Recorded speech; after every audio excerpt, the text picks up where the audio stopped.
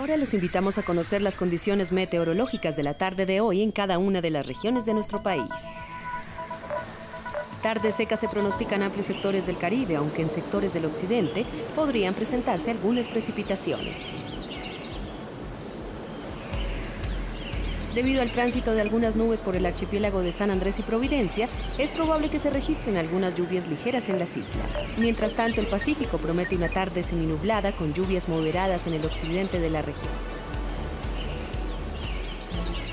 Lluvias de diversa intensidad se anticipan en el occidente de Antioquia y en sectores del oriente de los Andes. En el resto de la región dominará el tiempo seco.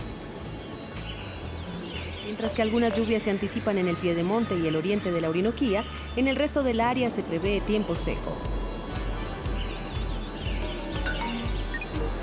Lluvias persistentes se esperan en casi toda la región amazónica. Las más importantes serían en el centro, norte y oriente de la zona. Finalmente, en la capital se pronostica un cielo parcialmente nublado, lo que podría activar lluvias en el norte, occidente y centro-oriente de la región. Veamos ahora las alertas que se encuentran activas. Persiste la alerta roja por creciente del río Ariari a la altura de El Dorado, Meta.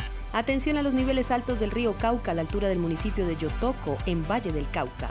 Alerta por avenidas torrenciales en las quebradas La Desmontadora y Cañada Seca, ubicadas en Dabeiba, Antioquia. Alerta roja por probabilidad de deslizamientos de tierra en Risaralda, Cundinamarca, Cauca, Caldas y Antioquia.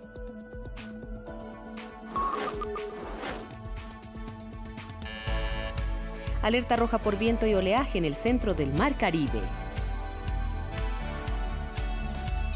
Los esperamos en nuestras redes sociales. Nuestro compromiso es con el medio ambiente. IDEAM es confianza y prevención.